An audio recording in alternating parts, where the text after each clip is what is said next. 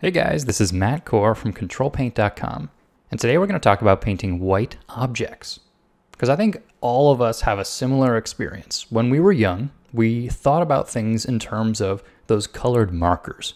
You know, green, that's for grass. The sky is blue. Well, dinner plates and clouds are white. As a painter, though, you're going to come to realize that this is a bit of an oversimplification. In fact, it's really not very useful at all.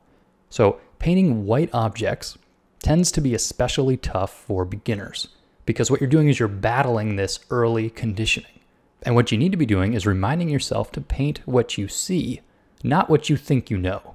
This is why we paint from observation while we're learning, because it forces us to compare the art that's on our page versus what we're actually looking at. And when you see that there's a big difference, that's where you need to improve it.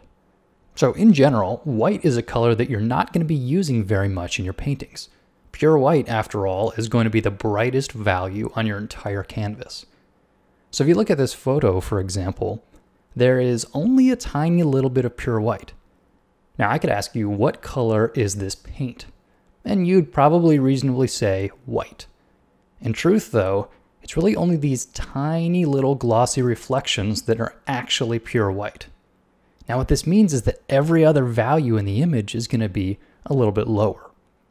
So the midtone, the core shadow, the reflected light, all the other parts of this rendered white material are not actually pure white.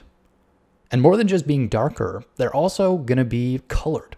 So even though this is a white painted object, it is going to be much more colorful than you might imagine. And the color can come from a few different places. One place that it can come from is the overall color temperature or tint of your image. So this example here has a very warm tint to the entire painting. But when you look at it in the sort of color world of this painting, you can still tell that the table is a different color than the ball. But either of them, if you were to use the eyedropper tool and sample that, is going to have a little bit of warm in the color. It's not grayscale. So taking a quick few samples here, you can see that the white ball has a lot of different colors. So when you have a color temperature image like this, the entire image has sort of a global warmness to it. Now, another way that white can receive color is from reflected light. And where this happens is when your objects are really near one another and there's direct light bouncing around. So here I've got a blue table and a white ball. And where you see this reflected light having a little bit of blue coloring, that is not an overall tint like in the previous example. It's really localized to this one little spot on the ball. Well, this is bounce light.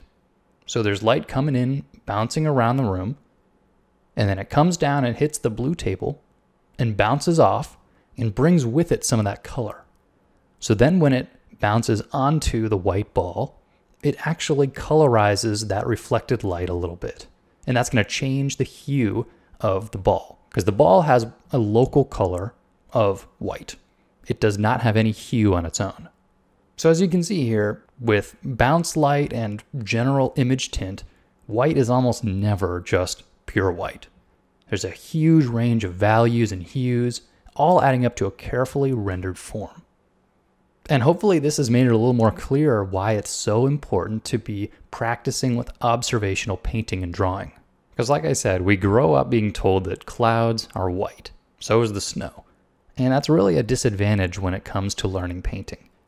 The more you practice from observation, though, you're going to replace these early stereotypes with an actual understanding of what you're seeing. And that's how you become a really great painter. Thanks for coming to the site, guys.